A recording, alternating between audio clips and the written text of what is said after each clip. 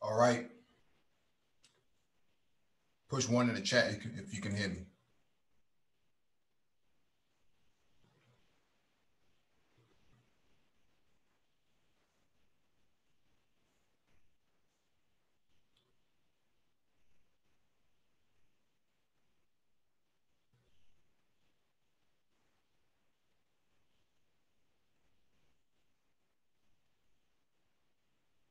All right. Got a confirmation from the chat. Thank you for that confirmation. Welcome back to the Black Brain Trust. This is episode 573. Space and technology, please hit the like button as you come in, share the video if possible, and hit that notification bell so you get all the updates from the Black Brain Trust, including those posted on the community tab. There's a doc in the description of the video for you to follow along with. If you want to engage in this discussion, there'll be a link in the chat for you to click on. When you click on the link, make sure you raise your hand so that one of us can acknowledge you and advance you to the panel.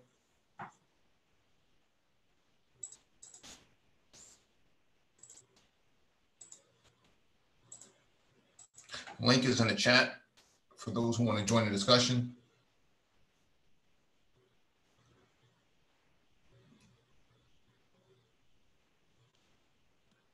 Let me give a shout out to the people who first showed up. Uh, so far, Nugent Black, uh, salute to you as, as always. Uh, Reigning Woman, good evening to you as always, and thank you for all the assistance that you provided to the Black Brain Trust.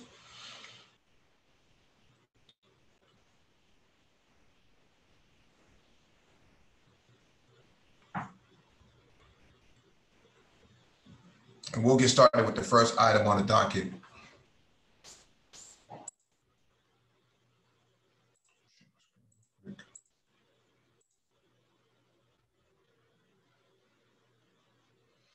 Uh, we did do our first upload uh, the other day. Um, I posted a uh, workout video, um, one that I did uh, a few weeks back. So um, if you haven't checked that out, make sure you check that out in the uh, in the archives.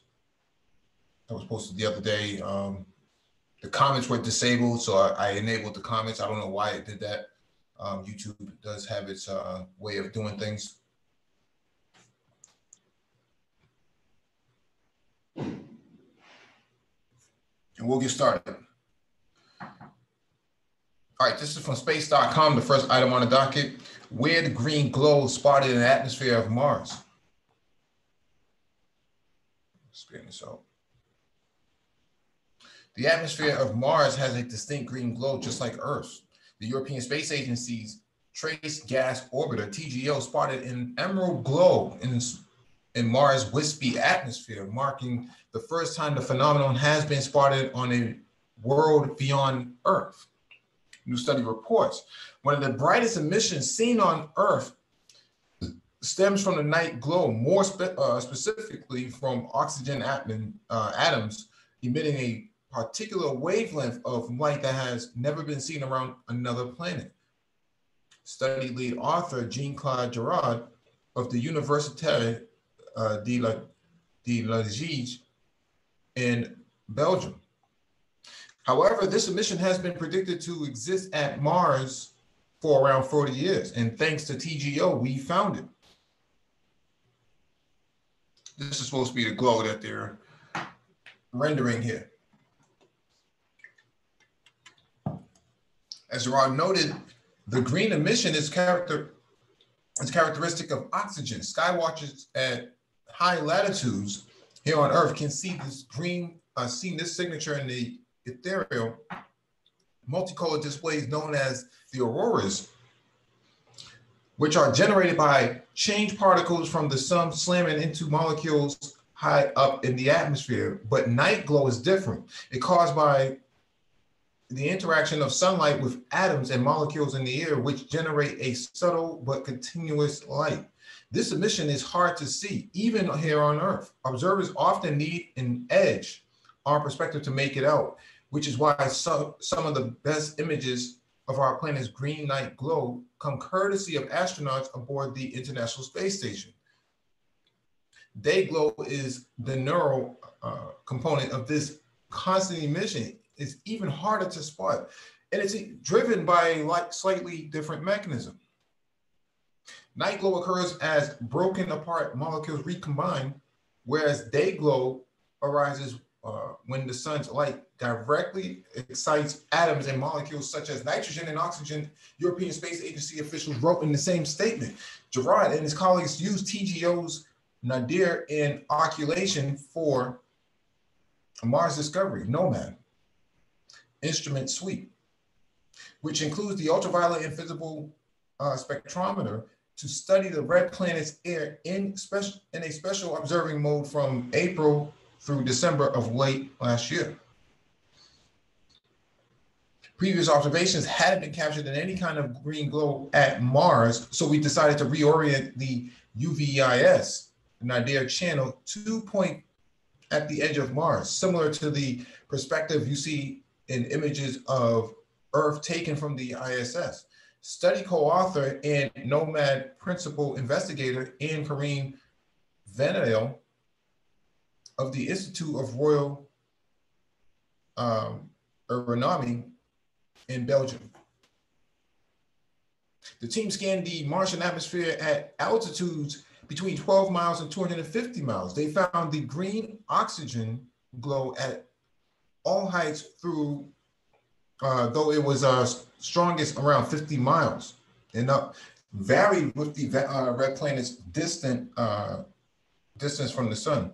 So this sort of green glow is something that coincides with some of the uh, reports that have been released in the last maybe month or so about how many people would it take to actually create a colony on Mars. And I think they came up with the number of 140 people, men and women. And so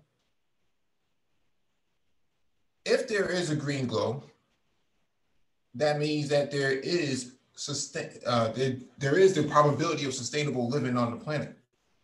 Now, what would you be doing on there? I have no idea. Um, doesn't make a whole lot of sense as to why anybody would, would want to live there.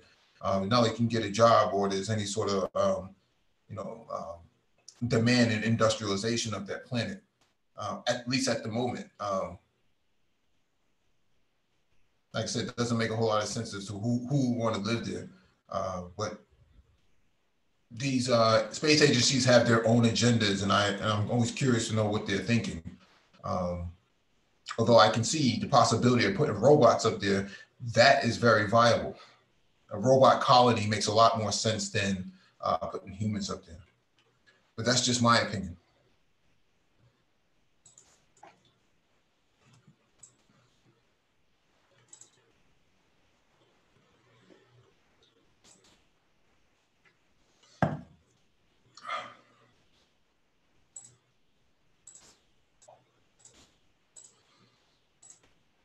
All right, man, this is from TechCrunch.com. NASA seeks crowdsource help designing a better moon toilet.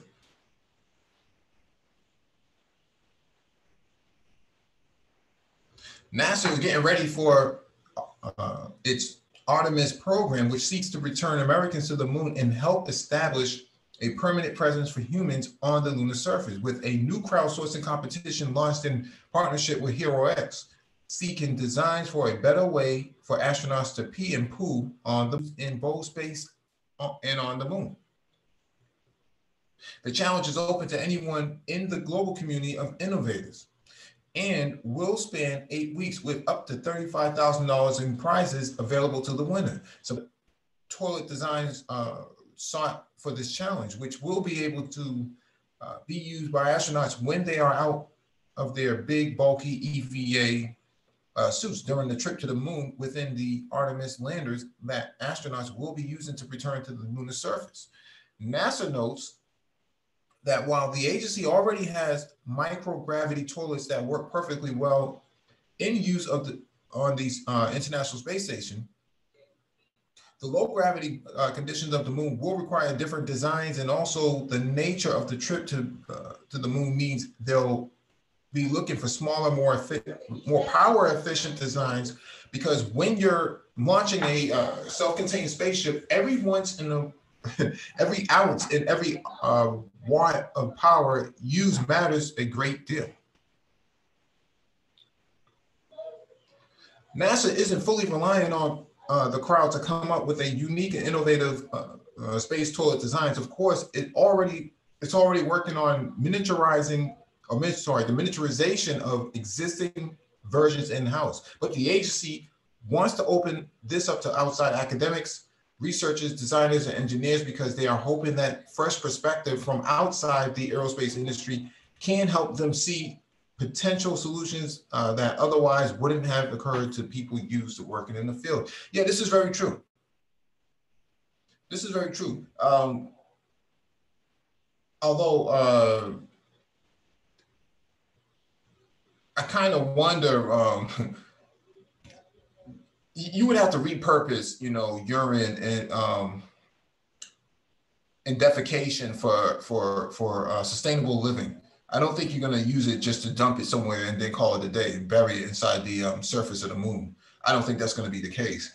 Um, there has to be a way to turn it into um, some form of bricks uh, to that to that um, you know to that point where um, a third party solution, um, a third party uh, solution. Hold on one second.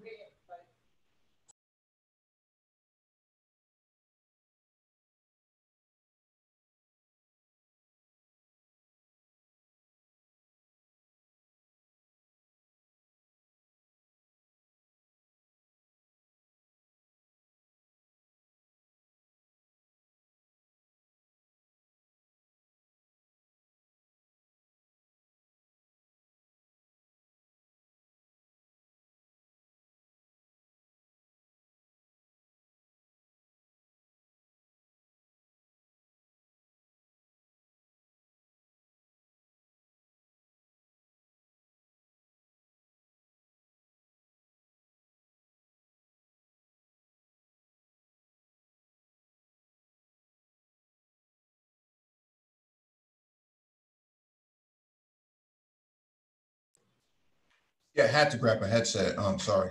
Um, and so, yeah, th- this is not going to be, um, at least from my perspective, something that they just bury inside the ground and call it a day, um, like a landfill. They can't treat the moon as a landfill. They have to come up with a sustainable solution that's going to allow for the urine and, de- and uh, defecation to actually be repurposed uh, for sustainable living. So I'd be interested in seeing and hearing about how this even turns out. Um, very interested in hearing how this turns out. I mean, this has to this has to work, right? Um, it, I, can't imagine that they, you know, they would leave human waste up there and then then all of a sudden leave because this is a long term strategy. Now, what they plan on doing up there, I have no idea. Um, like I said about Mars earlier, I don't see there's no industrialization on the moon. It makes sense if you use robots to build up, you know, the infrastructure, and then you have humans come up there and, and stay temporarily, um, like they do in Antarctica. But it doesn't make a whole lot of sense why you just send humans up there to just occupy it. What, what's the point of that? All right, let me move on to the next item on the docket.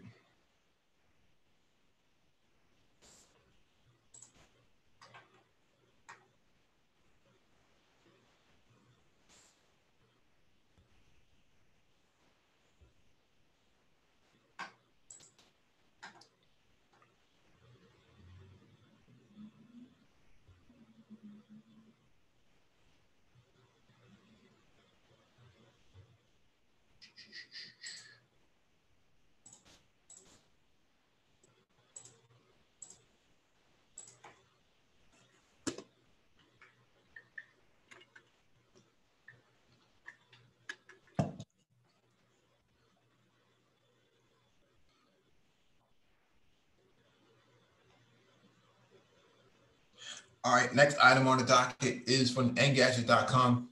California push for zero emissions heavy truck starts in 2024. The goal is to curb the state's largest source of air pollution.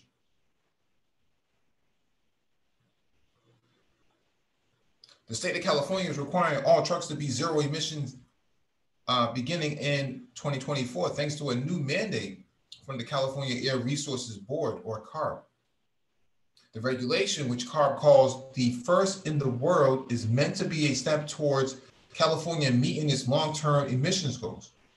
The rule would apply specifically to medium and heavy duty trucks weighing, uh, weighing 8,500 pounds or more. Under the mandate, every new truck sold in California will be zero emission by 2045, according to CARB. It further states that by 2035, the state will have an all zero emissions short uh, short haul drayage fleet in ports and rail yards, and that by 2040 there will be a there will be zero emissions last mile delivery trucks and vans. Interesting. CARB says trucks account for 70% of the smog causing pollution and 80% of the carcinogenic uh, diesel soot, uh, soot in uh, California, making them the biggest source of the state's air pollution. The state is aiming for a 40% reduction in greenhouse gases by 2030 and 80% reduction in greenhouse gases by 2050. So it makes sense, bold mandates uh, would be put forth to meet uh, bold goals. The mandate is just in the in the latest and changes that would make zero emission trucks more common on the highway. A group of electric utility companies in California, Oregon, and Washington state are currently working to propose an EV truck friendly highway uh, through the West Coast Clean Transit Corridor Initiative. More vehicle manufacturers, including uh, Nikola, Toyota, and Tesla, are trying to be part of the solution by working to get electric semi trucks onto the market this is very aggressive. Okay, 2024 is not that far away. It's only 2020 right now. Uh, we'll be in July later this week, and so you're talking about in the next 30, you know, the next 32 uh, months, next 30 to two months that they're talking about push for uh, zero emissions. This is like, you know, you don't have the infrastructure in place. See, if you have the infrastructure in place, then you can push for something like this, but you don't have it in place ready. And so we don't know what, else could deter, um, you know, um, disrupt this sort of uh, goal, right? Um, a pandemic shut us down, you know, for for a little over three months, and and things just fell apart. Uh, I can't imagine you that they will push for something like this by 2024. Now, by 2030, makes a lot of sense, but 2024, that's too soon that's too soon. A lot of your trucks that are coming off the assembly line, assembly line right now are nowhere near zero emissions. Okay, nowhere near zero emissions, and, and the technology takes too long uh, uh, uh, uh, to develop to actually um, have a date like this. Um, so it seems to be a really aggressive sort of uh, strategy. Like I said, build the infrastructure first, and then you can have that conversation.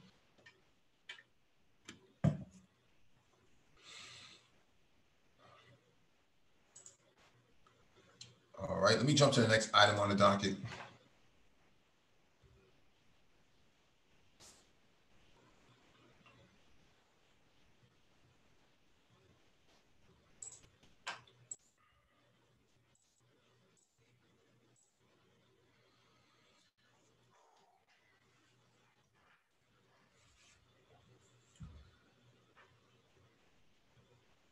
All right, this is from TechCrunch.com.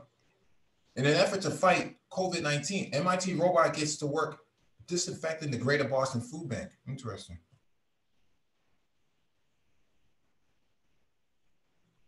MIT's Computer Science and Artificial Intelligence Lab, CASTLE,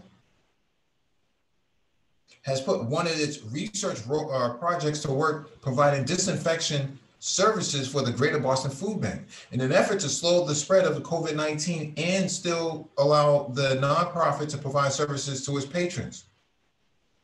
The Cassell designed robotic system, which was created in partnership with Ava Robotics, can not only disinfect surfaces that might have come in contact with the novel coronavirus, but also wipe out its aerosolized uh, forms that might be present in the air, the lab says.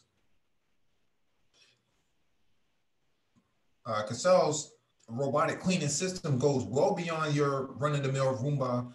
It employs UV light for a fully automated clean uh, sorry, for a fully automated clean that can be done free of any human oversight, which is key because UV light, when used in strength uh, required for surface and airborne disinfection, can be harmful to any people present. The team behind the design took one of uh, uh, Ava's telepresence robots, removed the top, which normally houses the screen to display a remote operator, and replaced it with a UVC light array. Via cameras and sensors, the robot can map an indoor space, then navigate designed waypoints that map uh, within that map uh, area and disinfect it as it goes. Keeping uh, track of areas it has to disinfect. In operation after uh, its, its autonomous mapping exercise, human robot operators showed it the path that would normally uh, traverse in the office to determine priority disinfection zones. The system is flexible so that it can handle remap routes, which is required because the areas of the GF, uh, sorry, the Greater Boston Food Bank warehouse that need to be traversed can't change daily as food comes in and food goes out with stock stored on different shelves. Eventually, the team wants to develop more automated uh, ways for the modified telepresence robots to use their suite of sensors to figure out which areas are priority to uh, for disinfection based on foot traffic and changing real world conditions for now. It can be easily manually adjusted to accommodate shifts. The project focused specifically on the use of the Greater Boston Food Bank, a priority resource, uh, especially during the COVID 19 pandemic. But MIT's Castle researchers envision similar systems being used to cover a range of complex spaces that require frequent disinfection, including grocery stores, dorms, schools, and airplanes. This is interesting, um, very interesting strategy. I think um, I think we talked about this maybe a month or so ago. Um, this sort of strategy being used before this article even came out, um, that using UV um, UV light um, against COVID is a strategy, uh, but no one had really tested it. And so, what I'm saying here is that um, this may be the new strategy for all large facilities, schools, um, you know, uh, uh, subways and things like that. Um, I, I, can't imagine, um, even the airport for that matter. Um, some airports, you know, some of the terminals get shut down and whatnot. Th- this comes into play. We have been talking about this for a while, but I'd be interested in seeing what the results are. Because I, I, don't know how you inspect COVID, right? How do you inspect in a facility to determine whether or not COVID is actually there, um, and then decide to use one of these? And after it makes its uh, rounds, how would how would you be able to determine if COVID is still uh, if COVID is still in the facility or not? It's really really interesting um, strategy, but I'd be more interested in hearing about the what the results are.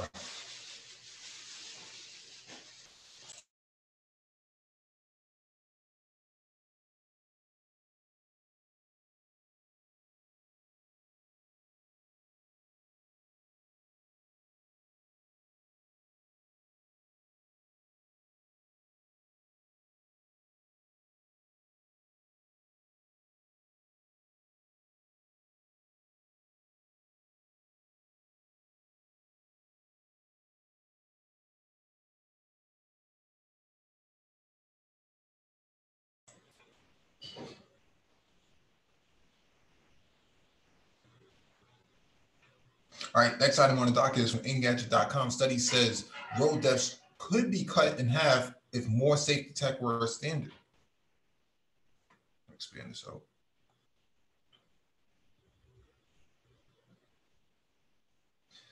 There's little doubt that modern car safety features can be helpful, but Consumer Reports believes they could be crucial to saving lives. The publication just released a study estimating that U.S. road deaths could be cut by 16,800 to uh, 20,500, or roughly half of the 36,500 people lost in 2018, if certain safety features were standard on every car.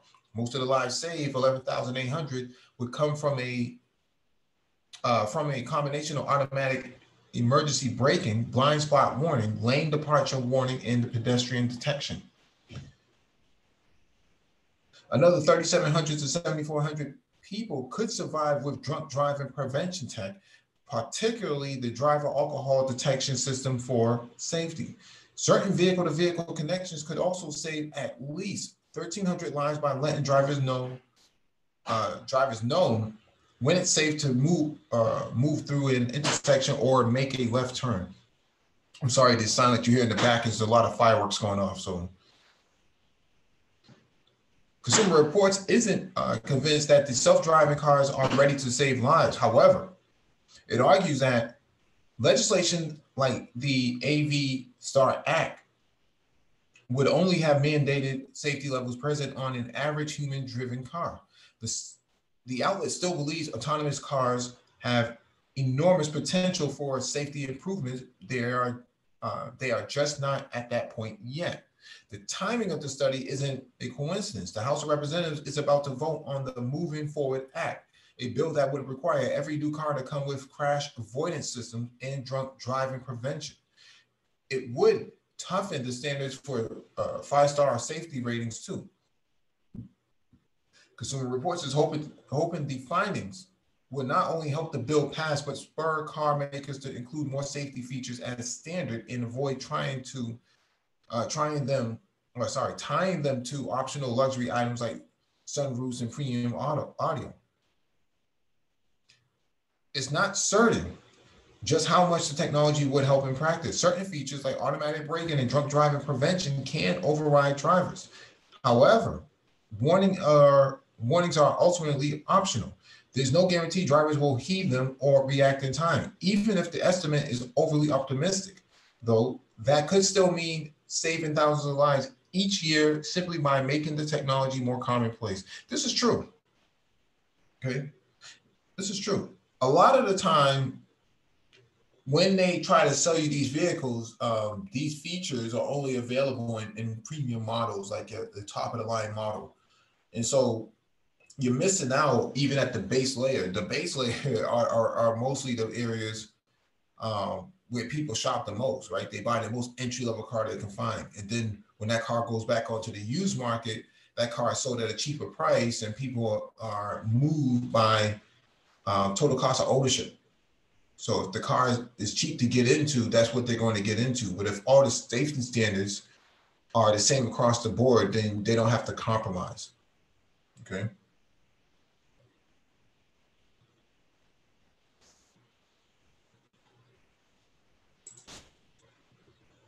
Although I would say that the government should invest into uh, more, um, you know, more smart um, cities and things of that nature. Um, the thing is, if this, if the, you know, the cars maybe, you know, have all of this uh, smart technology embedded in them, but the city, you know, the urban environment, you know, the urbanization of the environment has not progressed at all. In fact, it remains the same. And so what happens here is your traffic lights, your um, your, your crosswalks, and they're not lit up. I, I've seen in other places. When I was in Rwanda, their crosswalks were lit up. Okay, they had little lights on on the crosswalks. I mean, on the ground, meaning that every time you step on a crosswalk, you know these little lights would uh, um, emanate as, as as people cross the street, which I thought was really genius. I'm a, I have never seen that in the United States before. Okay, thought that was pretty interesting. A lot of unique things that they're doing over there.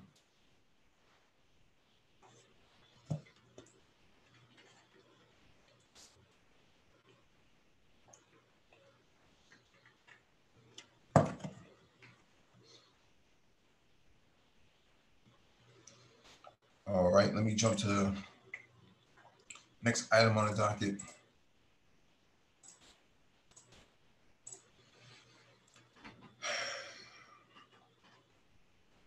All right, this is from businessinsider.com. Former Pinterest employees describe a traumatic workplace where managers humiliate employees until they cry. Black people feel alienated and the toxic culture eats away at your soul.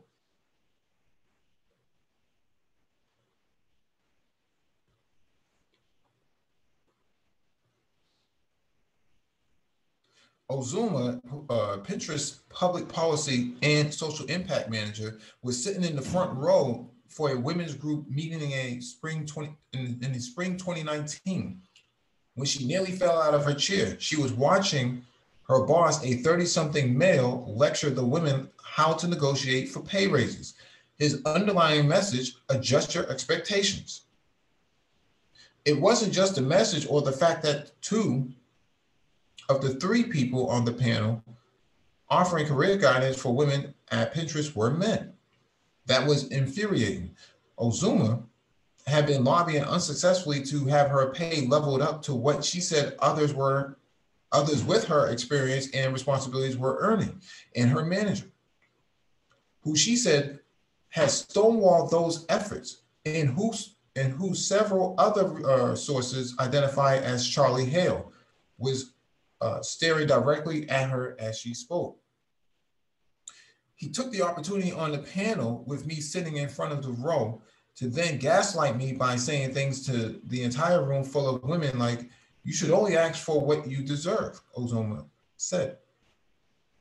Last week, Ozoma and Shimizu Banks, two black women on Hale's team, publicly quit interest, uh, Pinterest and denounce that uh, denounced what they describe as a toxic company culture.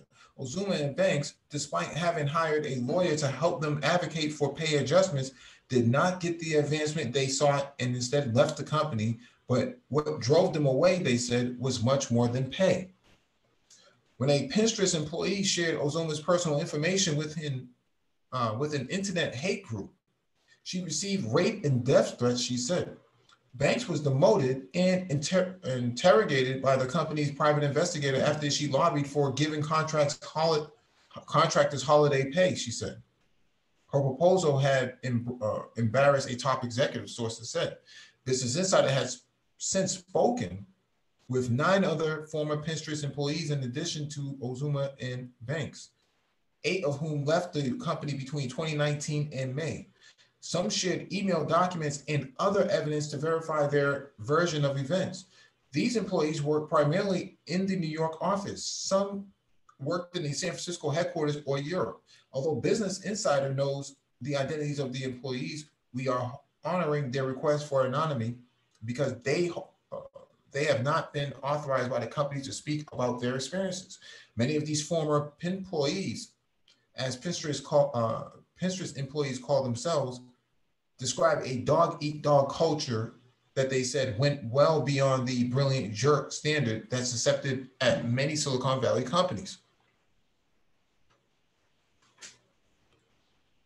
The experience felt particularly devastating to many employees Business Insider spoke with, they said, because they felt duped. Pinterest, uh, uh, Pinterest's visual social media service is a friendly place where nearly 400 million Monthly users swap ideas on fashion, food, crafts, and design with little of the vitriol found on social media networks. The company's model is the, the last positive corner on the internet. And recruiters sell Pinterest to prospective employees as a nice company with down to earth founders whose mission is to help everyone create a life they love. The position sorry, the opposite uh, of working at uh, in Amazon or Uber, which have cutthroat reputations. I worked in tech uh, my whole career at Google, Facebook, Pinterest, and it's a pattern at all of them. But Pinterest is particularly bad, said a former sales employee who left the company in 2016, but remains in a social networking group with employees. This woman said she has uh, so, sorry, she was so traumatized by her manager's constant criticism of her work that she spent years in therapy. She added that a number of employees, uh, a number of people who had who had a reputation for being difficult managers from her time there are still part of CEO Ben Silbermann's inner circle, including, she said, Hale. Hale declined to comment for this story. Many of these employees painted a picture of a toxic, chaotic culture where they said people, especially Black employees, were suddenly fired or pushed out after meeting and exceeding their performance goals. A macho culture saw employees yelled at, publicly humiliated, or reduced to tears at work. Poor management skills created a culture of firing that left everyone fighting for recognition. Internal teams felt pitted against each other and took credit for each other's work. Multiple people suffered stress-induced uh, conditions. Some required medical treatment, including uh, for stroke level high blood pressure, clinical depression, and post-traumatic stress disorder.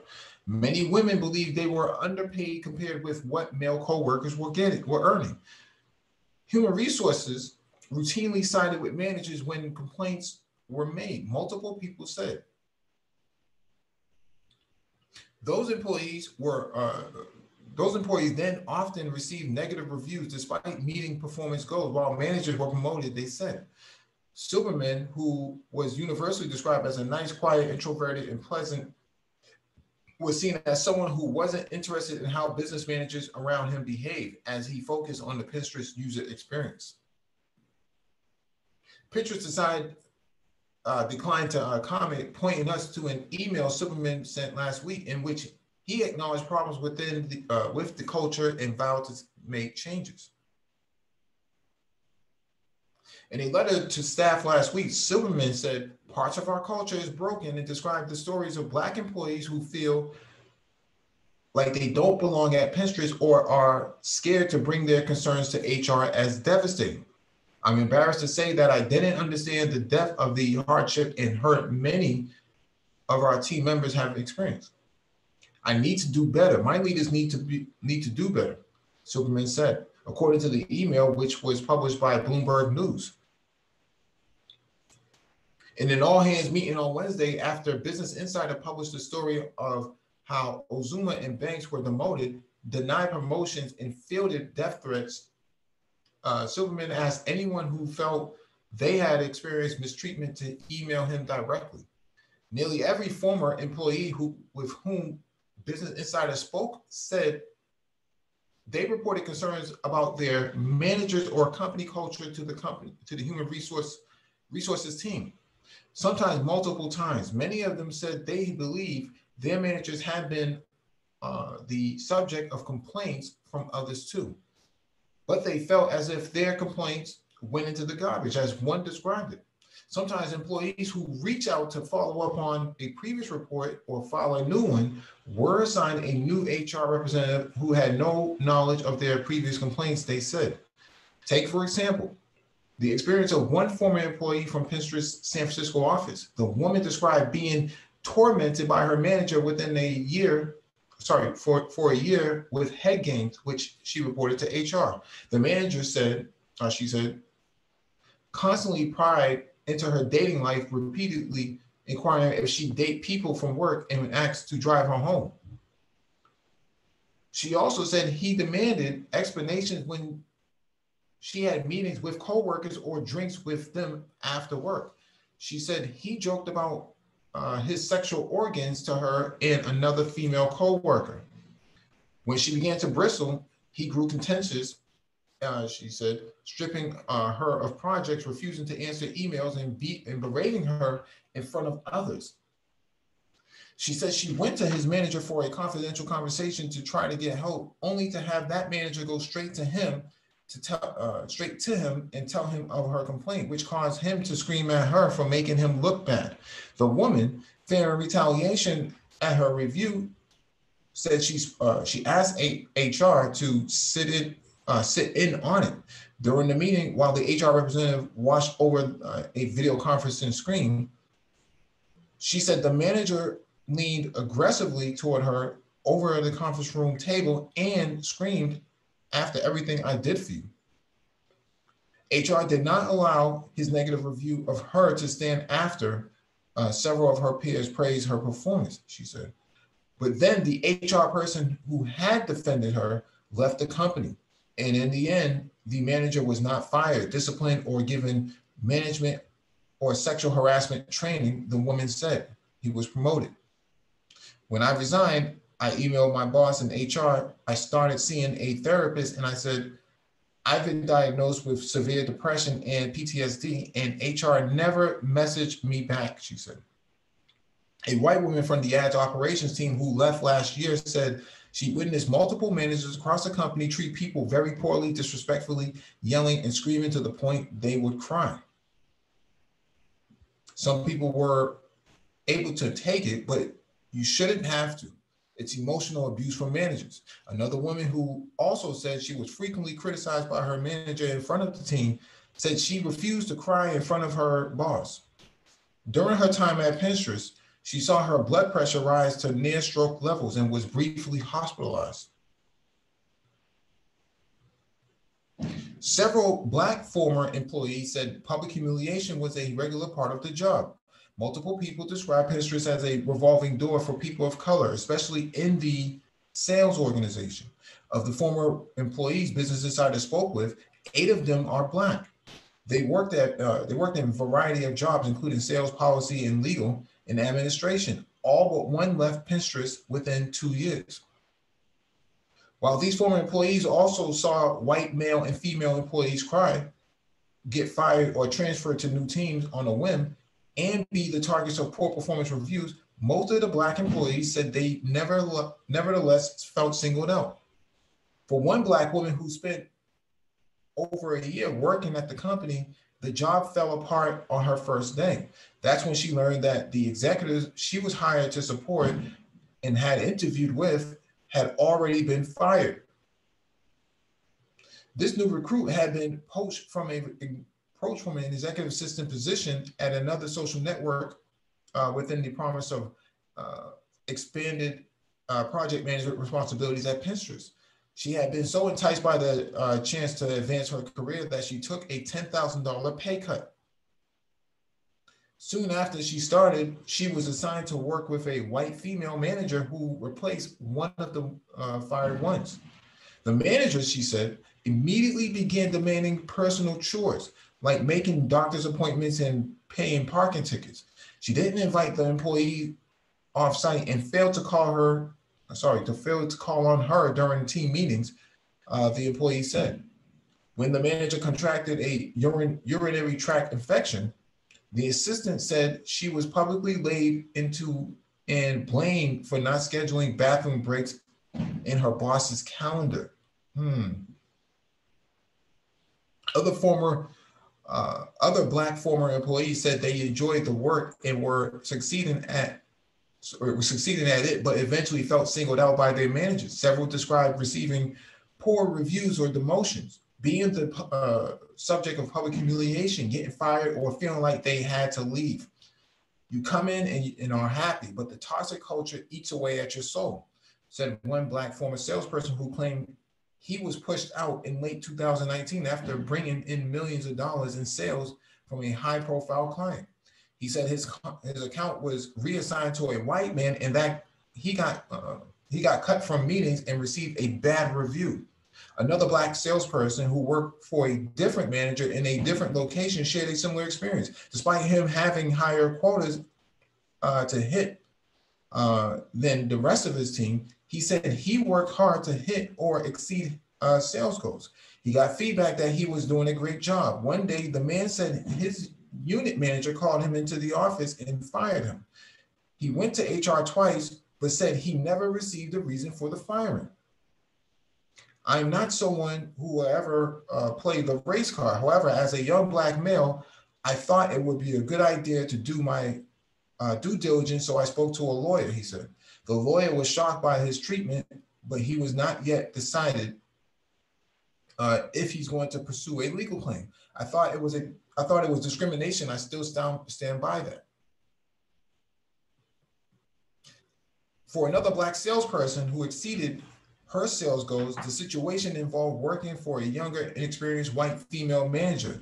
The experienced salesperson had been a manager at another large tech company before Pinterest hired her. The younger manager had received little formal management training from Pinterest, a criticism sources expressed repeatedly. The younger manager, sorry, the young manager's style, this person said, was to send a constant stream of criticism and demands to her staff, often shouting in public.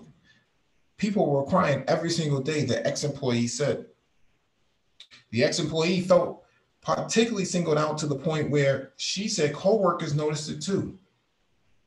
The manager insisted she talk to her about uh, her home life, but then also accused her of taking more time off than other employees because she was a mother. she said.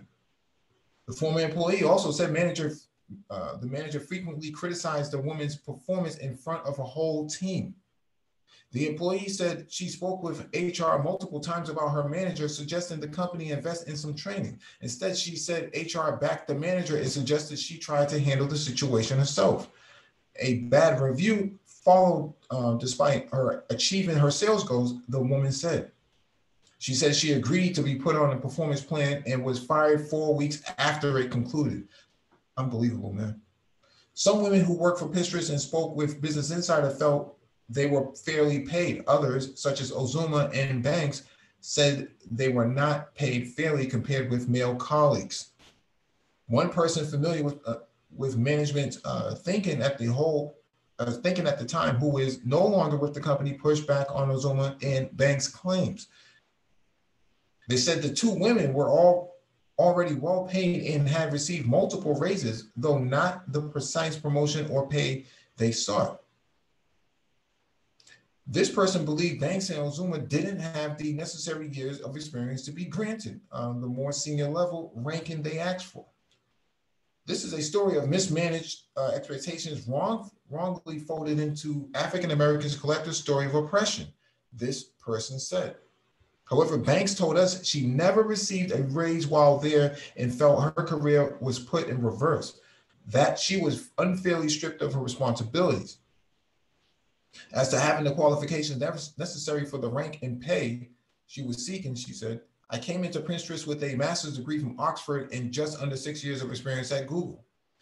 Business Insider viewed documents with the job descriptions for each level of seniority, and those descriptions contain mostly subjective language and no requirements for years of experience.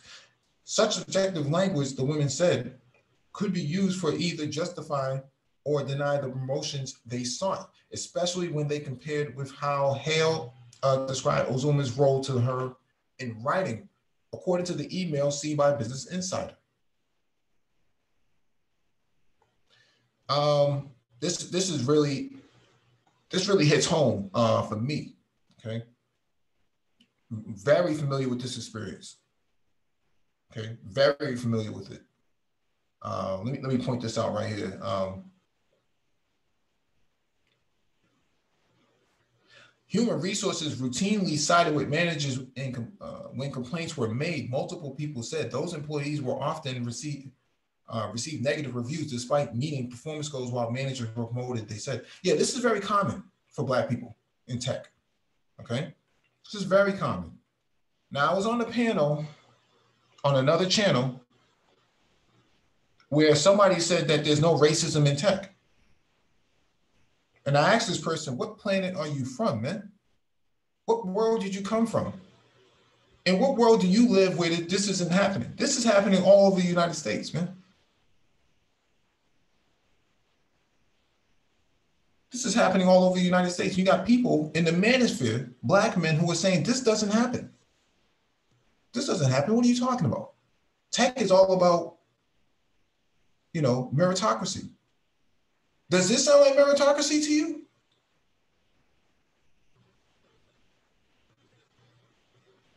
Well, you know, some some of these people, man, some of these black men in the manosphere, they they say these things, and I'm like, what? what where did you come from? This this story is so, and I've you know, I've been talking about racism in tech for the last few years on here. Okay. And in the manosphere, I've been talking about this all over the place. This is still a major problem, even in 2020. You still have HR siding with white people and then pretending now in June of 2020 that Black Lives Matter. Okay. This is why I don't take the symbolism seriously when, when these companies come out and talk about their support for diversity and inclusion. This is bullshit. It's all bullshit. Okay. This goes on all the time. A black man brings in millions for Pinterest and gets replaced by a white, a Mazunga. How many times have we talked about this? Myself, Nagon 11, complex design. Everybody has talked about this in tech. This is a common issue. And so when people say, well, we, we need more black people in tech, yeah, you would get more if you would have more fair, equal practice. Well, life isn't fair, and you can't expect companies to be fair because companies are here to turn profit. This isn't about turning profit. This is a racist, terroristic sort of culture, man. Pinterest isn't the only company that has this issue. There are many companies out in Silicon Valley, outside of Silicon Valley, that have this issue, and nobody wants to take this seriously. Um, on our side, we, we think this is this is you know a one-off issue. No, this is this is common in, in most tech companies. I don't care where you go. For black people to be mistreated like this in the workplace, this is common. This is very common. People taking pay cuts, not getting paid the the the, the, the equitable amount that they should that their co-workers are getting, being fired, you know, after doing very well and companies taking advantage, uh, uh, uh co-workers, uh, uh, companies putting Muzungas in charge of big uh, projects that you that you started that became profitable and they get the credit at the end of the day meanwhile you get scolded in front of other employees this is very common we covered the article last year about a, a, a, black woman who worked for Google. She talked about this. A black man who worked for Facebook. He talked about this last year, 2019. You can go through our archive. We, we, we've covered this. Okay.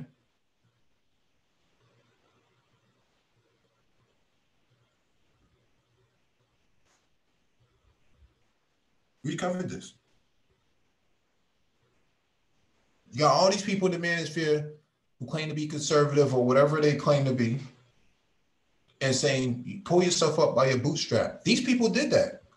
Graduate of Oxford, master's degree, six years at Google, still getting, still getting, you know, railroaded in the tech industry. How is this possible? How is this possible? With a black president, after a black president, Black Lives Matter, uh, BLM protests, diversity and inclusion, all, all of these things took place during this during that her, her, her tenure, and she still got railroaded. How is this possible?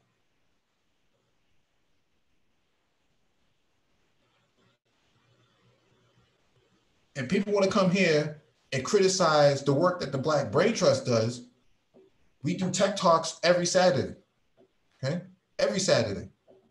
And you got people coming here critiquing our work, saying, you know, you you know, you guys don't know what you're talking about.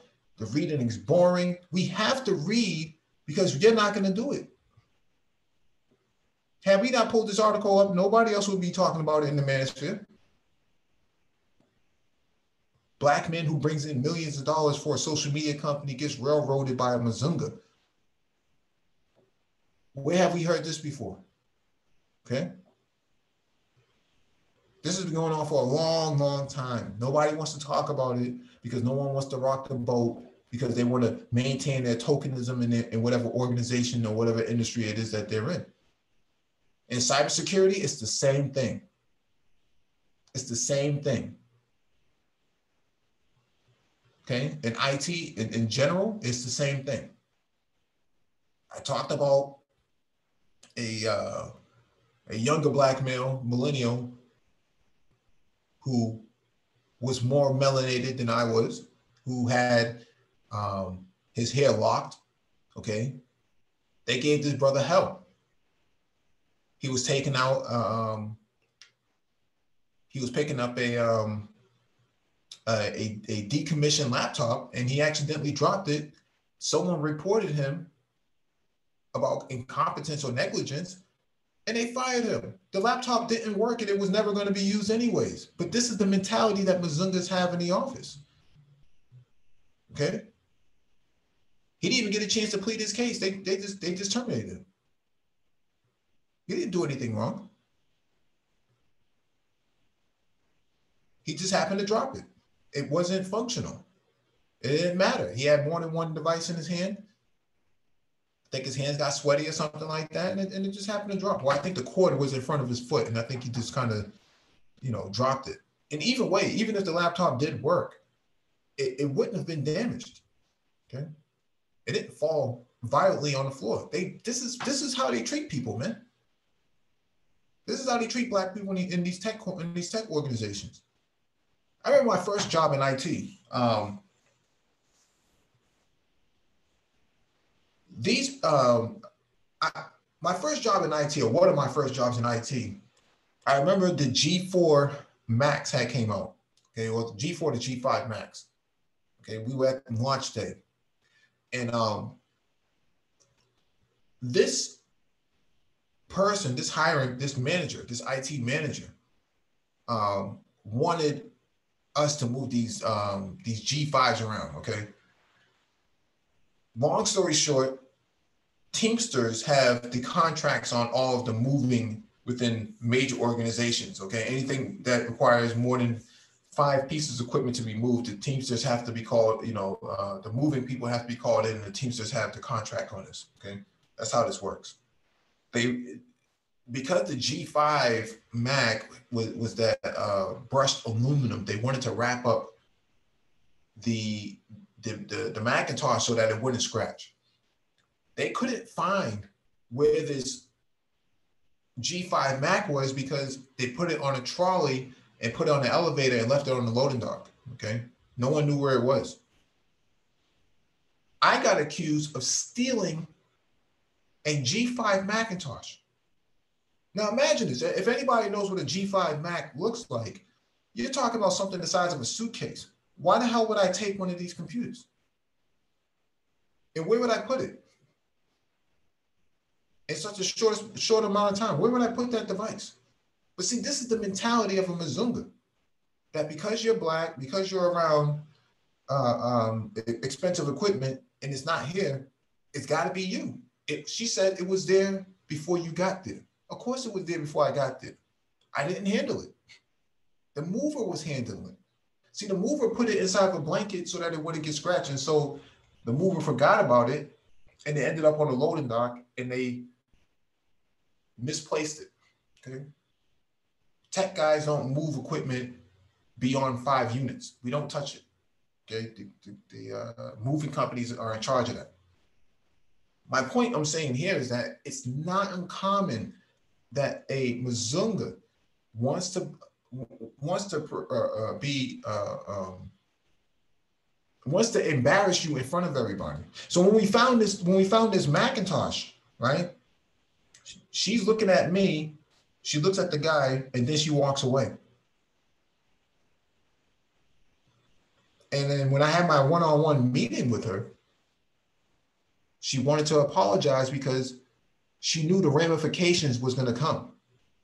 I'm going to, she knew I was going to lawyer up and sue the company for discrimination, which would have devastated the company. This is a well known company in the United States. Okay, the headquarters is here. Had I launched a lawsuit against them, it would have brought the company right to its knees. They, and they knew that. They knew that. And so, in order to, you know, try to quell the tensions, you know, she wanted to offer this uh, phony apology. The point that I'm making here is what's seen in this article, what I read in this article to everyone, happens more often than not. Black people are underpaid in tech.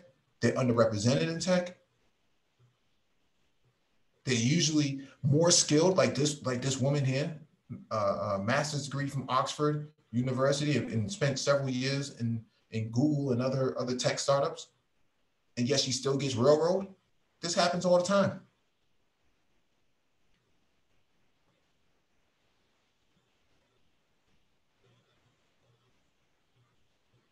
This happens all the time. There's a lot of people who are black who are co-conspirators in this as well.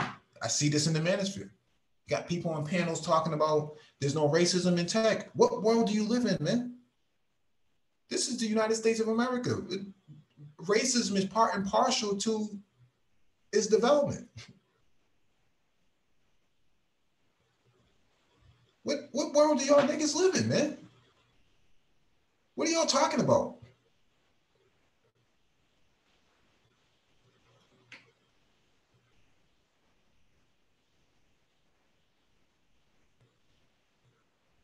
Yeah, Black Torch. That's actually a, a, good point.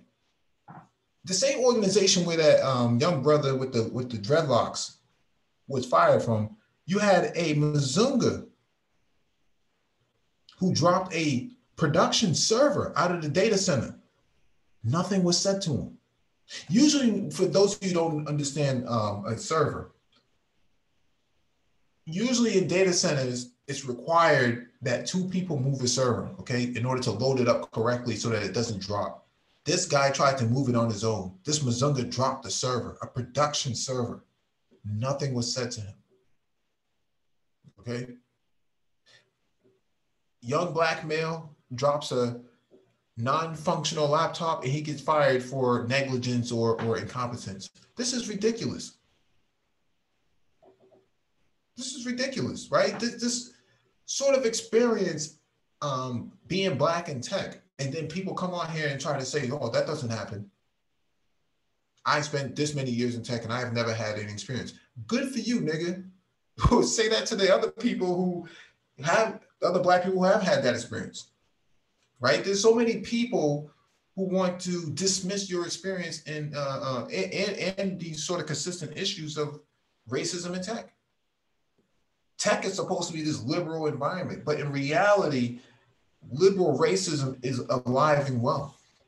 It's not, you know, racism isn't just allocated to conservatives, man. The tangerine tyrant, the Republican Party, that's not just that's not the face of racism, man. There's racism on both sides of the aisle, and it's evenly distributed throughout the tech industry. Okay, all this stuff about Black Lives Matter and Trans Lives Matter and rainbow flags and diversity and inclusion, it's all Botox.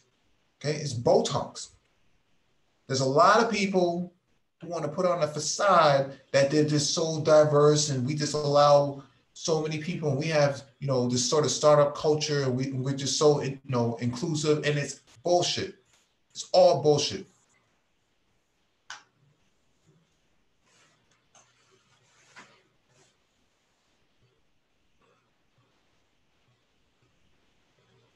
It's all bullshit. They don't want to talk about it because they don't want to compromise their position. Um, in, in the tech industry. Okay, they don't want to do it. They just want to pretend that, oh yeah, you know, man, black men just pulled themselves up by their bootstraps, man, everything will be just fine, man. If you just if you just did, you know, follow my blueprint, everything will be just fine. What about these people in this article, man? People getting yelled at, getting you know, getting shitted on, underpaid, overworked, uh, you know, fired for in um, video conferencing calls. How is this possible, man? Like, what are you talking about? What are some of you guys talking about, man?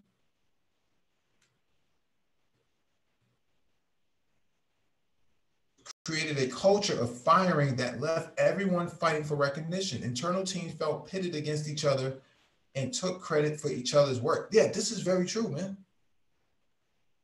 This is very true.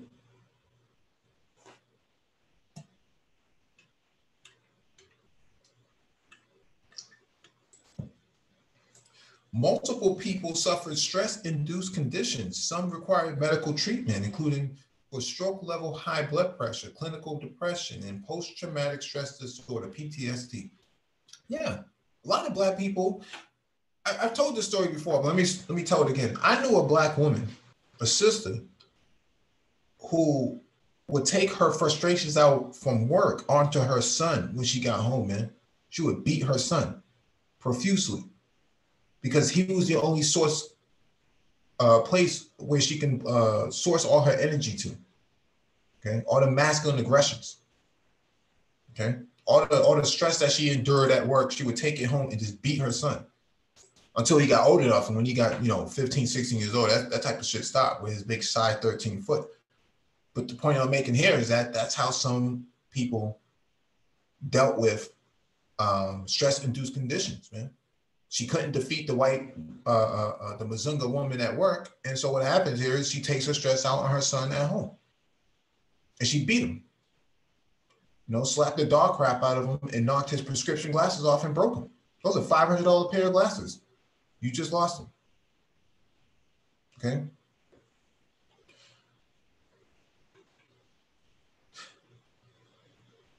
Human resources uh, human resources routinely sided with managers when complaints were made. Multiple people said those employees often received negative reviews despite meeting performance goals while managers were promoted. They said, yeah, this is very true, man.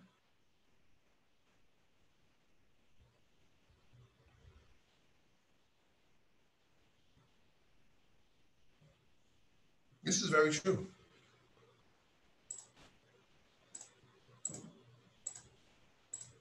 We got Black Torch on the panel. Hey, Mike. Uh, yeah, it, you're just reading the story of people's lives, man. This happens all the time. I mean, I, I have seen it. It happened to me. Um, like I was trying to tell you, I seen a guy. Uh, Brother, are you, out there, you out there flying a kite or something? What's going on? I mean, no, that's the fan. I, I hold on. I have to turn it down. It's hot in New York. Hold on. I bet, man. I bet we got Super Triz on the panel as well. Yeah, but it, i am hold on. I'm turning it down. But what I'm trying to say is that it happens all the time, man. It happens all the time. I remember this guy crashed the network twice, and they he got a raise. Can you imagine that? He got he got he was making more money than all of us, mm-hmm. and he had no no degree at all. Yeah. And, and and then they got upset with me because I refused to train him. I said, I'm not training this guy. I'm not, it's not happening. Yeah. Well, see, now you're insubordinate. Oh no, I, I like I said, I've been you know how it is. I'm an angry black dude. Mm-hmm. that's what that's what they tell you. You're the angry black dude. But I'm the only I'm the only one that has the skills that so they left me alone. They just said, "Oh, leave him alone." Mm-hmm. But I uh, I wouldn't I don't help those guys. I just don't. I said, "Man, you got to sink or swim by your own skills." And then they uh, brought in all these H-1B visa dudes, and then try to tell me to train them. I said, "I'm looking at these guys' uh, so-called resumes." I said, "They guys they should have these skills already. Why I need to train them?" Yeah. That's a it's it's it's it's we're being squeezed on two sides. That's the thing that most people don't understand. We're being squeezed. Once you got the education, they'll bring in these lower education people from India with and other places with these fake resumes, and then they push them into these jobs, and then they expect you to train them. And then and then when you when you're on the overperforming side, they they they do the squeeze play on you, like what happened to these uh, women at at at, uh, at, at, at what's the name of the pinstripe, whatever the company is, because it, it, it, happened at uh at one of my boys at Apple. He had to sue. He had to sue him. Yeah. He had to literally sue him. And they, and they couldn't do anything. All they do is pay you off and tell you, all right, goodbye. That's it. Yeah, severance package. Yeah. You know, but that's it. And and so I don't know what to tell you. I don't know what to tell you. I it's a situation it or it's more and more I think we just need to build our own shit and leave these guys alone. And, and you know, that's all. Yeah, let, us go to Super Triz. Um, yeah, I just had to vent. I'm sorry. Yeah, yeah, no, that's fine. That's fine. Hey, what's going on, everybody? Uh, uh Mike V and uh, Black Torch. Peace, brother. Peace. Um, what we see here, um, an employee at a job, uh-huh. and um, whether it be from management or whether, whether it be laterally um, from colleagues, um, creating a, a hostile work environment, or at least ostracizing, the very least ostracizing um, that black employee. Um, basically, what you see is occupational redlining. Mm-hmm. Um, and it, it, it really, and, now the whole tokenism thing really does more of a disservice that you actually mentioned earlier, Mike V, because yeah. you'll have somebody, uh, you know, who is, you know, quote unquote, from the ADOS community who will discredit any person's claims and say, well, you know what, I made it. I don't have any issues. And you know, it's it's not it's not them, it must be you. And so they, they and then they'll they'll they'll put that person at the forefront and say, look, you know, you know, there is no racist practices going on. It's just, you know, an angry black man or somebody trying to, um, you know, uh, compensate for their lack of performance and you know, you know, things like that. And you know, I think that again, um, it's it's about competition. And so when you have somebody who actually, you know, quote unquote makes it, or from their perspective makes it, who's black, in their mind they feel as though if well, you know, there can only be so many uh, black people at this particular job, or at least black people held in high regard. Um, and so they look at other black people. So I think uh, uh, other black people's competition. So I think you know we also have to think about the undermining that occurs from people that look just like us. You know, at these occupations. And and I think Black Torch is right. You have to kind of create your own own opportunities. That's the only way you're going to be treated fairly. You have to you have to actually be in control of the situation because at the end of the day, I mean, honestly, think about this though from a logical standpoint, devil, devil's advocate, if if as a group you have a particular advantage over the competition, right? And your advantage is not based on merit, it's based on affiliation. Why would you jeopardize that advantage? You'll do anything and everything to maintain your position, and you'll do anything and everything to bolster this advantage that you have over everyone else. Because you get the same, uh, you know, you get the same resolution without working nearly as hard.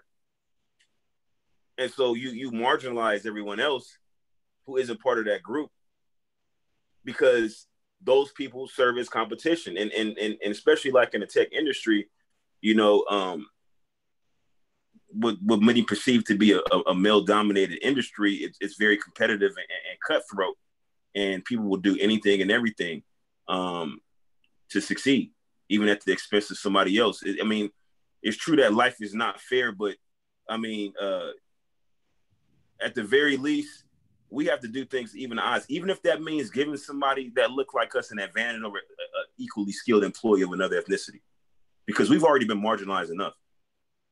Yep. So, like, if, if if I'm in a position, you know, allegedly, I'm I, I, may I may take a second glance at somebody um, who looks like me over somebody who doesn't, because I know what they have. I know what they've been through, and we got to we got to have that mentality when we're in positions of power.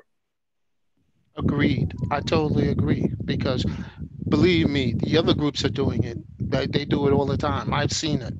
These guys are uh, literally, they just came in with their passport in their hand and they show up to work and they, and you have to explain to them how things work. And it's cra- and it's crazy. And the thing you said, Super Triz, is really true because um, the, the, the, the danger points for when I'm um, when I'm working is having any interaction with HR, any interaction. I don't even talk to them because I hate to say it, but a lot of them are full of black women, and it's it's it's the danger zone.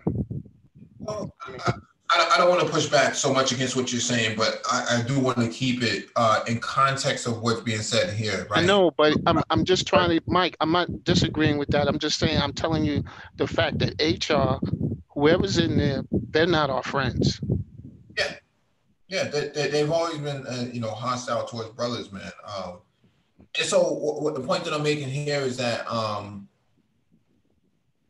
you know, I heard, I hear everyone saying, you know, you know, we should create our own opportunities. The problem is, a lot of these companies are siphoning off your tax dollars. Okay, when they come into certain cities. Okay, they, they if you're if you work if you work in the same city that you live in, these companies are making um, you, you, know have, uh, uh, uh, benefited from tax abatements um, to establish their business there.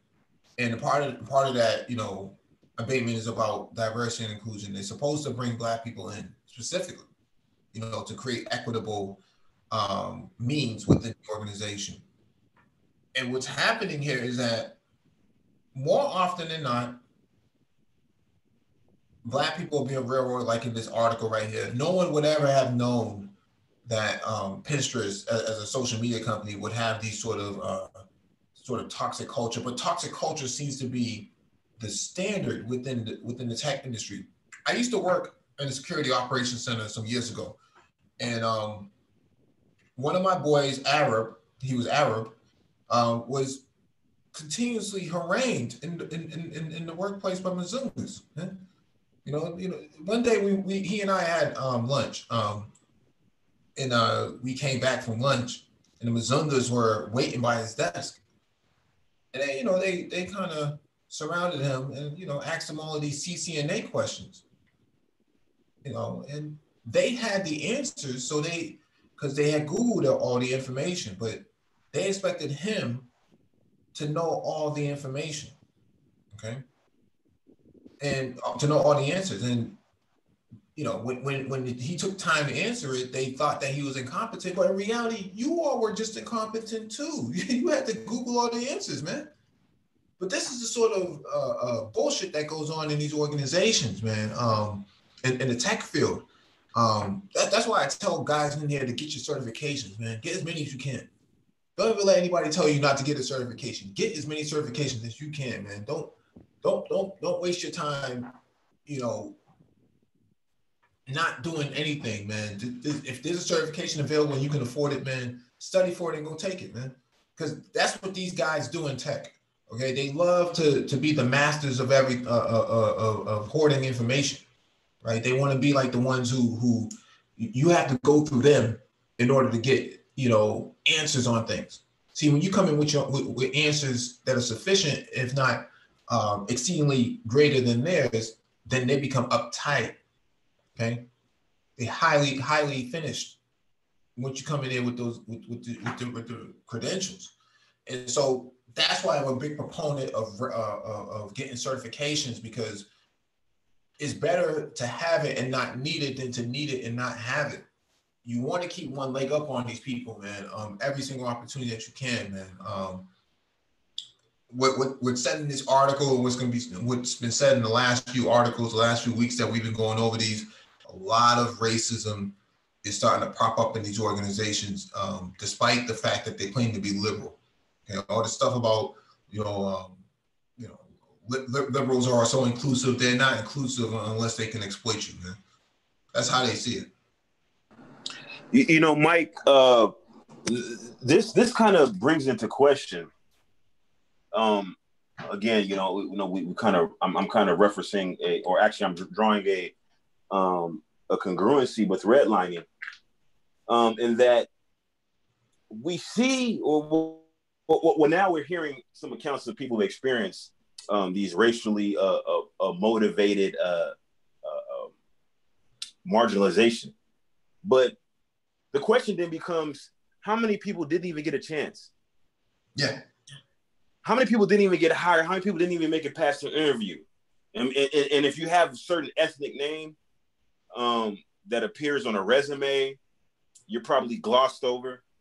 Um, and you know, the people that do get hired that that happen to be you know black or maybe what they would consider people of color, um, a lot of times they're due only because of diversity initiatives. The, the, the actual people that are doing the uh, interviewing and the hiring, um, they don't they don't really want to hire. They they rather have the actual uh, uh, the workplace look completely homogenous. If it was up to them, that's what it would look like. I, I don't disagree with you. I think the problem I see is that these people own the organizations.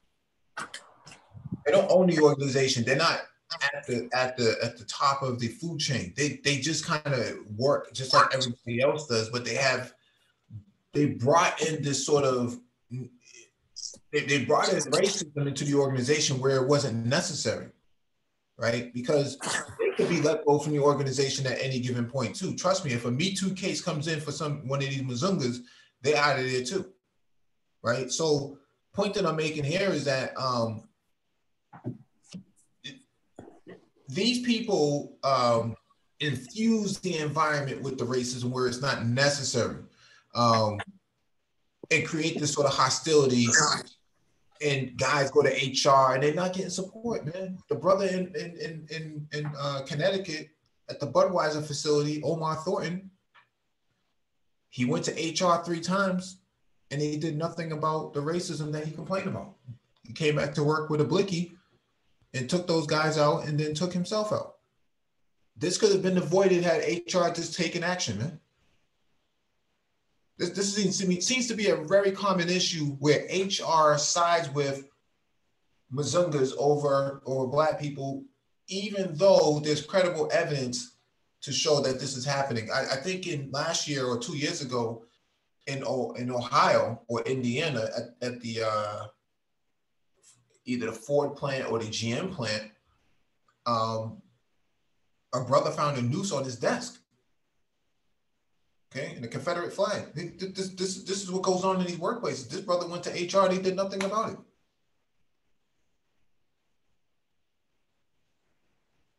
Actually, I think it was in the locker room. The point of the matter here is this is what goes on. And people will tell you that if you just start your own job, then that would solve things. But it does not really solve it for the people who did not create their own job. And the people who did not get their, their opportunity, like Triz is saying, I know a lot of guys like that that are out of work right now, man. Tech tech guys who who who just could not get that fair break. Couldn't get the fair shake. Um, you know, and so that's why I'm big on certifications. That's why I, I tell guys, um, put yourself in that position, man, where um,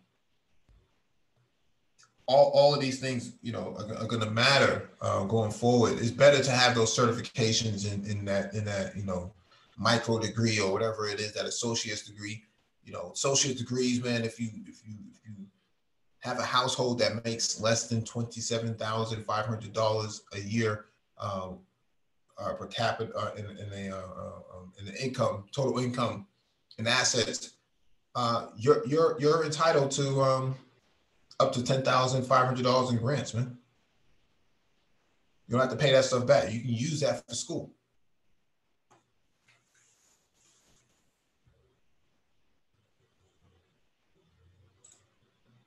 All right, let me jump to the next item on the docket. Um, last item on the docket.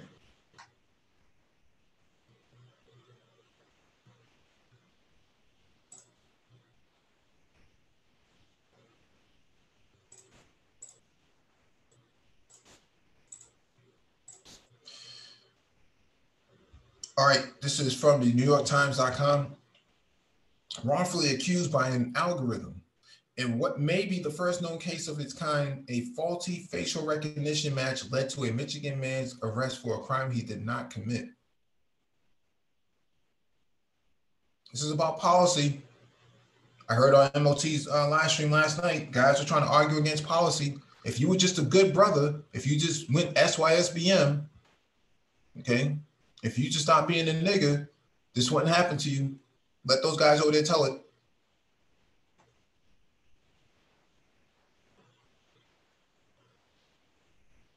On a Thursday afternoon in January, Robert Julian Borchak uh, Williams was in his office at an automotive uh, supply company when he got a call from the Detroit Detroit Police Department telling him to come to the station to be arrested. He thought at first it was a prank, an hour later, when he pulled into his driveway in a quiet uh, subdivision in Farmington Hills, Michigan, a police car pulled up behind, blocking him in. Two officers got out and handcuffed Mr. Williams on his front lawn in front of his wife and two young daughters who were distraught. The police wouldn't say why he was being arrested, only showing him a piece of paper with his photo in the words felony warrant and larceny. His wife, Melissa, asked where he was being taken. Google it. She recalls an officer replying. The police drove Mr. Williams to a detention center. He had his mugshot, fingerprints, and DNA taken and was held overnight. Around noon on Friday, two detectives took him to an interrogation room and placed three pieces of paper on a table face down. When was the last time you went to Shinola store? One of the detectives asked. In Mr. Williams' rec- recollection, Shinola is an upscale boutiques, uh, boutique that sells watches, bicycles, and leather goods in the trendy Midtown neighborhood of Detroit. Mr. Williams said he and his wife checked it out and was the first open uh, and, and, when the store first opened in 2014. The detective turned over the first piece of paper, it was still an image from a surveillance video showing a heavyset man dressed in black and wearing a red St. Louis Cardinals cap, standing in front of a watch display. Five timepieces worth $3,800 were shoplifted. Is this you? asked the detective. The second piece of paper was a close up. The photo was blurry, but it was clearly not Mr. Williams. He picked up the image and held it next to his face. No, this is not me, Mr. Williams said. You think all black men look alike. Mr. Williams knew that he had not committed the crime in question. What he could not have known as he sat in the interrogation room is that the case may be the first known account of an American being wrongfully arrested based on a flawed match from a facial recognition algorithm, according to experts on technology and the law. A nationwide debate is raging about racism in law enforcement across the country. Millions are protesting not just uh, the actions of individual officers, but bias in the systems used to surveil communities and identify people for prosecution. Facial recognition systems have been used by uh, police departments, uh, sorry, police forces for more than two decades. Recent study by MIT and the National Institute of Standards and Technology, NIST, have found that while technology works relatively well on white men, what Mzungas, the results are less accurate for other demographics, in part because of the lack of diversity in images used to develop the underlying databases.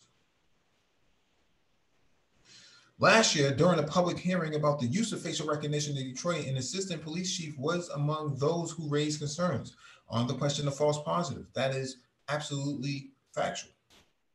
And it's well documented, James White said, so that corners uh, that concerns me as an African American male. This month, Amazon, Microsoft, and IBM announced they would stop or pause their facial recognition offering for law enforcement. The, uh, the gestures were largely symbolic given that the companies are not big players in the industry. The technology police departments use is supplied by companies that aren't household names, such as Vigilant Solutions, Cognitec, NEC, Rank One Computing, and Clearview AI. Clare Garvie, a lawyer at Georgetown University's uh, Center on Privacy and Technology, has written about problems with the government's use of facial recognition. She argues that low quality search images, such as a still image from the, a grainy surveillance video, should be banned, and that the system currently in use should be tested rigorously for accuracy and bias. There are mediocre algorithms and there are good ones, and law enforcement should not uh, should only buy ones uh, by the good ones, uh, Mr. Garvie said, or sorry, Ms. Garvie said. About Mr. Williams' experience in Michigan, she added, I strongly suspect that this, uh, this is not the first case to misidentify someone to arrest them for a crime they didn't commit. This is just the first time we know about it.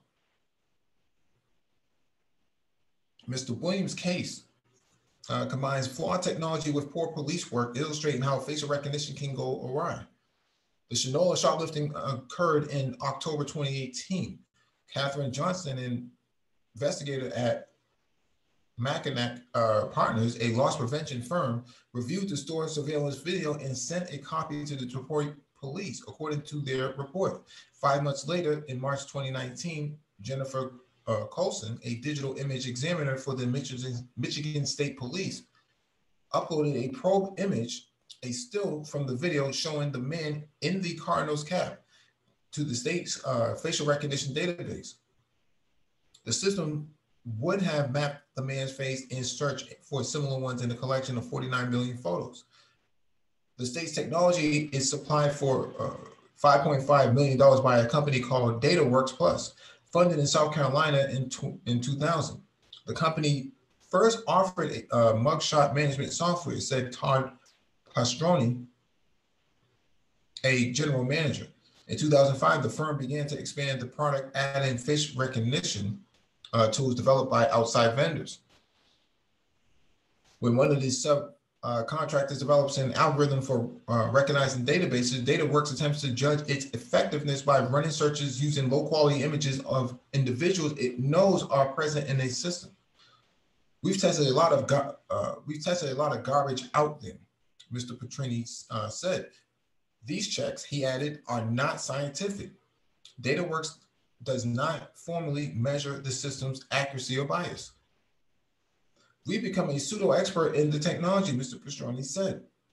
In Michigan, the DataWorks software used by the state police incorporates components developed by the Japanese tech giant NEC and by Rank One Computing based in Colorado, according to Mr.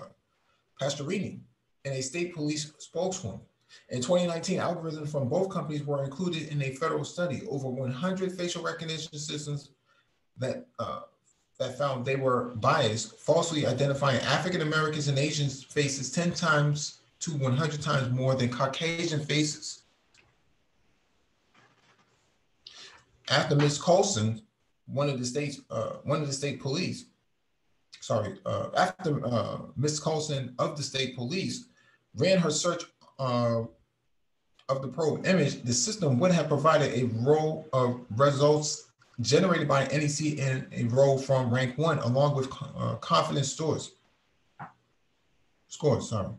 Mr. Williams' driver's uh, license photo was among the matches. Ms. Coulson sent it to uh, the Detroit police as an investigative lead report. This document is not a positive identification. The file says in bold capital letters at the top. It is an investigative lead only and is not probable cause for arrest. This is what technology providers and law enforcement officers always emphasize when defending facial recognition. It is only supposed to be a clue in the case, not a smoking gun. Before arresting Mr. Williams, investigators might have sought other evidence that he committed the theft, such as eyewitness testimony, location data from his phone, and proof that he owed uh, that he owned the clothing that the suspect was wearing. In this case, however, according to the Detroit police uh, report, investigators simply uh, included Mr. Williams' picture in a six-pack photo lineup. They created and showed to Mr. Johnson Shinola's loss, uh, loss prevention contractor, and she identified him. Interesting. I'm not going to read this whole thing, but um, what I will say here is this. Um, I will say a big lawsuit is about to go down. Yeah. Yeah. Um, and that person that identified him, she screwed. Yeah, I wanted because I wanted to actually touch on this. Um, I won't go all into this because uh, I'm pretty sure the the uh, end result is all the same. You know, this reminds me of the case. I think it was up by you, uh, Mike.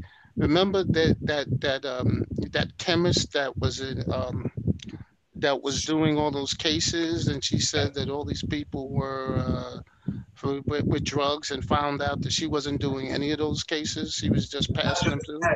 Not just that, she had falsified that she graduated from UMass.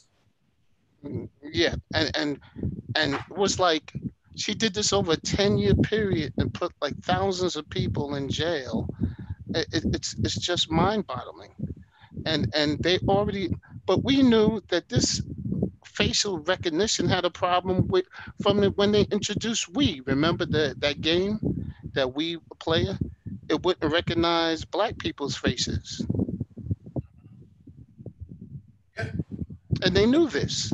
So i don't understand you know it's just amazing they, they you know but I, I don't i don't i wouldn't put anything past them these days. Nothing well, the, the thing I wanted to bring up here was that um, I was also a victim of this as well, uh, false information being used on background research on me, uh, background investigation on me, what they call a DBI.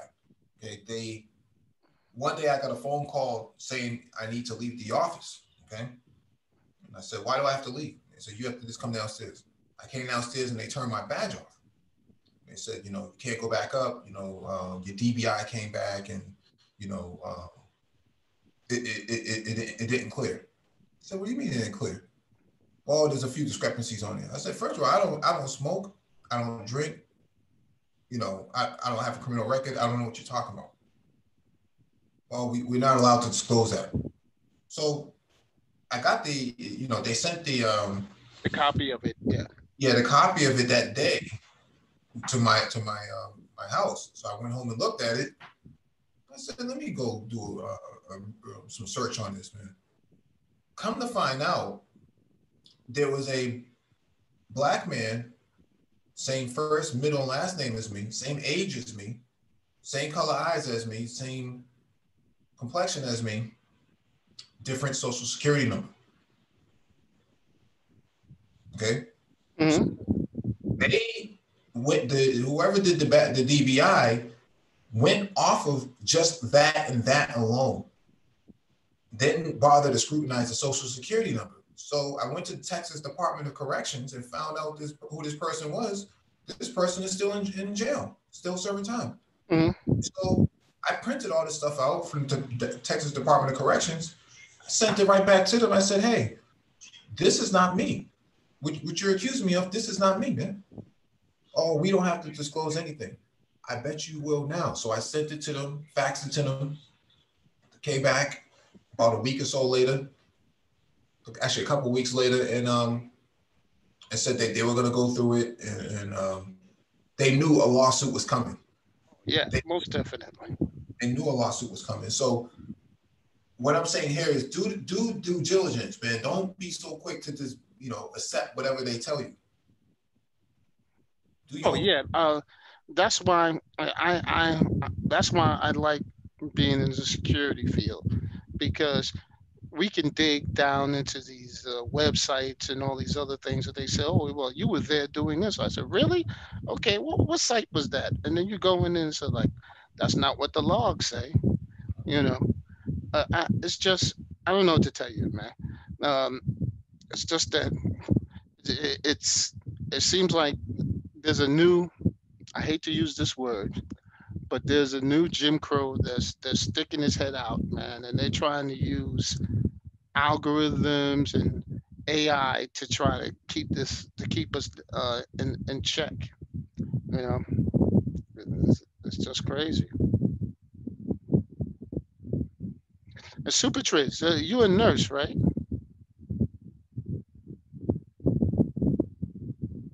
I don't think he's on. Okay sorry, I'm driving. What's what's going on? no, no, I was, I, yeah, I, I just want to know you a, a nurse, right? Yes, yes.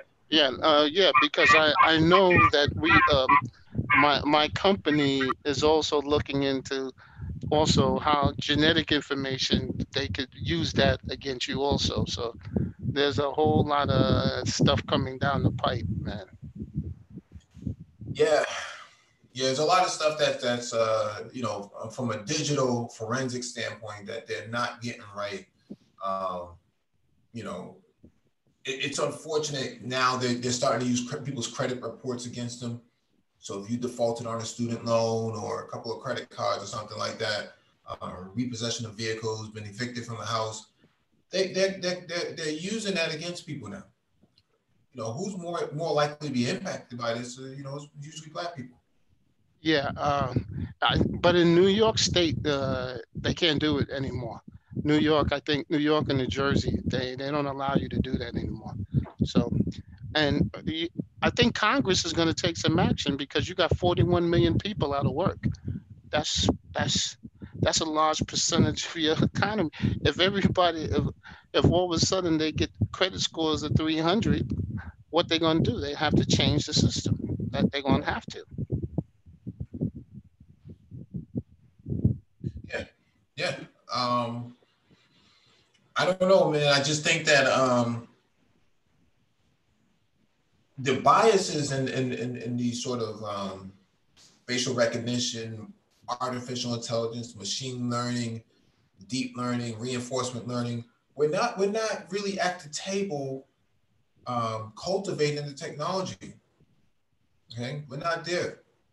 Uh, well, I happen to know one of the one of the top guys in AI.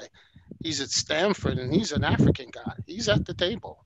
Yeah, but, uh, yeah, but, uh, yeah, but relative to the to the to the uh, um, population, we're, we're not really there.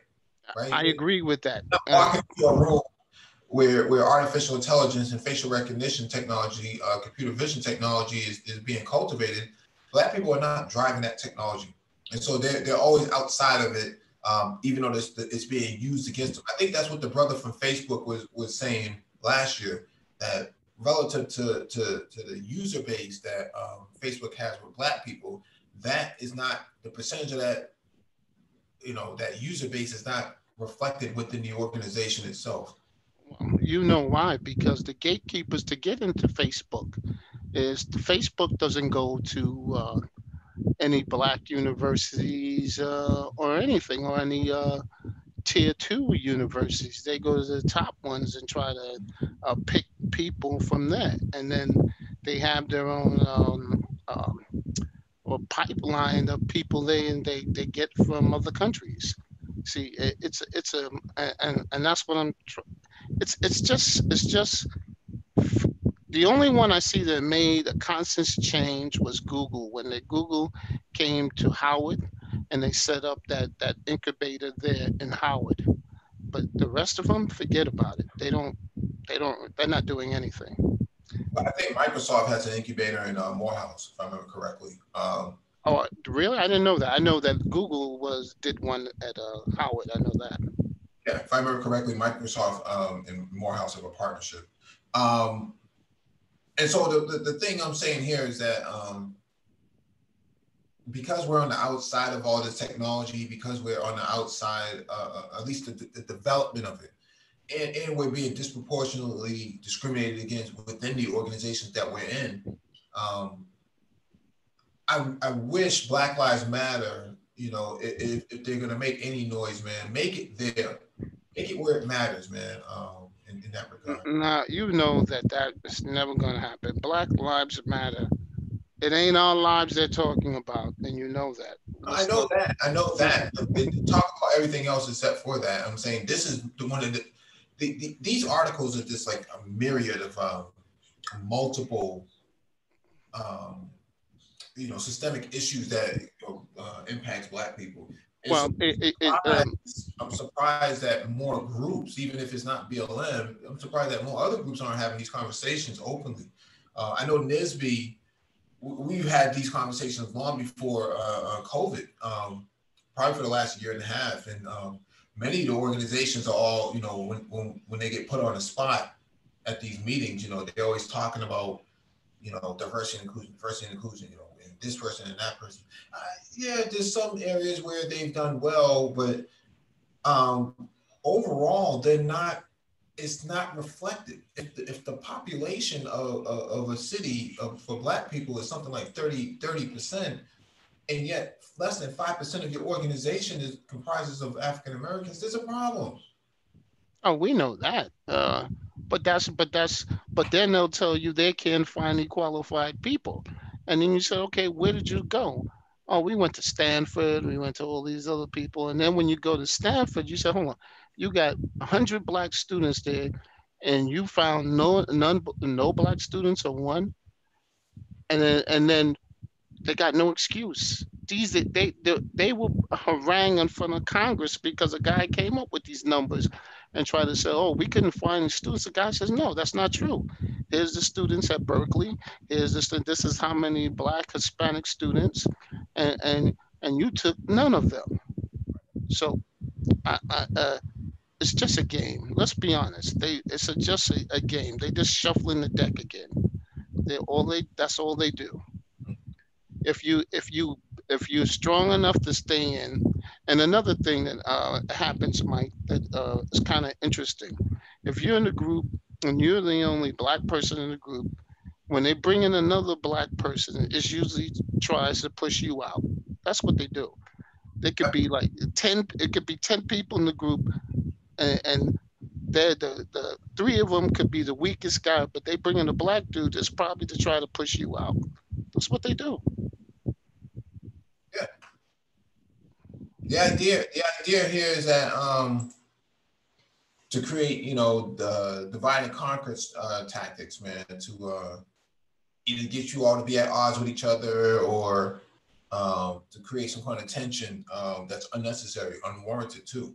Uh, I, have seen this myself. Um, guys in IT who are kind of placed on different teams um, are, are, are, are strategically kind of separated so that they can't um, build a cohesion with each other. Um, or any sort of camaraderie.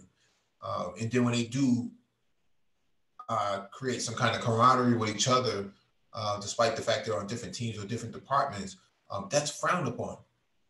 It's really frowned upon. They don't want you talking to you know Africans or talking to um, anybody else. And you know, you, you should you should just be kind of marginalized into your own little sector and mind your own business. Well, yeah, and you know why it's that is because if they see two or three of y'all talking, or what are you guys planning? You know, I'm saying like, what is this? A coup d'état? We're not planning anything. We're just talking. Yeah. yeah. You know, but that's what happens. And, and Mike, uh, what is going on with the channel? I'm not getting any of these alerts until they like a day later. Uh, are they still doing the banning of the channel? Yeah, we've been shadow banned. Uh, even though we may have been live, the red dot is not there. And so I'm not sure how to even fix something like that other than get the push alerts for your desktop. Okay. Push alerts for your desktop matter. Um, yeah, because I missed a few of them because I, I didn't even know it. And then I said like, and then it said live, and I'm I go click on it, and it says it's over. I said, what the hell is going on? Yeah, that's what it's telling me right now that the live stream is over, even though we're live right now. Yeah, it's so, and, and you know, if they're doing it deliberate, it, it's just, you know, um, I think you know we may have to uh, come up with another solution. oh because all this is all we're doing is giving information. You're not, you're not, you're not telling people, you know, we're not disparaging people. Just tell them, no, this is how you get a, a better uh, quality of life. You know, this is how you you move up. This is how you you uh, navigate. You know, uh, you know. I don't understand why they're doing it to this channel. There's no hate. It's not, you know, disparaging anybody. It's just telling them like how to get ahead. And if that's the issue, then we have a greater issue. If they don't want us to talk about how we can help each other, then we really got an issue. Yeah. Um, if you enable desktop alerts um, on your Chrome browser, it will automatically push um, Black Brain Trust alerts to your um, uh, to your screen, to your to your desktop. Um, so the way how you do it, see if I can um, see if I can find it.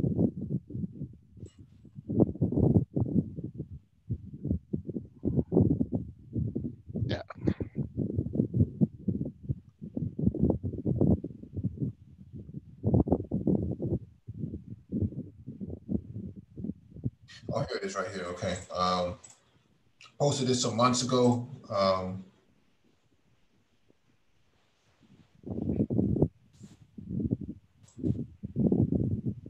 yeah, posted this a couple months ago. So if you go to your YouTube channel um, and go to the settings portion of it, it's just a uh, general. Okay, I got it. I can find it from there. Yep, here it is right here. So it says account notifications, playback and performance. Go to general and then push desktop notifications to Chrome. Receive notifications on your computer even if you're not watching YouTube. Okay, so that's how that works. Okay. Yeah, it's just annoying. You know, some things you want to hear and then you can't hear about it. Yeah, yeah, yeah. It, I, I don't know why YouTube is doing this. I, I don't. I mean, it doesn't cost them anything for you know. Uh, you know, pushing these alerts. I think they're starting to give preferential treatment to uh, some of these bigger channels, um, which I find interesting because if uh, their channel is so big, then they don't they don't need any sort of preferential treatment. Um, well, you know, it, it's it's it's the topics. You know, all our topics are not sexy. You know, you know, we don't we don't have sexy topics. We got, you know, on dating and things like that and fragrances. Nah, man. Um, I just find that to be interesting, though. Um, that we're getting we're getting treated like this. It wasn't like that before. I'm not sure when it started or why it started like this, but yeah, I remember I used to get them all, and then about six or seven months ago, it started acting crazy. Yeah. so that's that's that's the tip You know, enable desktop uh, notification. Mm-hmm. You should be able to get on your phone as well. All right. Um, thank you all for joining us, man. And please hit the like button if not already done so. Share the video if possible. Hit that notification bell So you get all the updates from the Black Brain Trust, from including those posted on the community tab.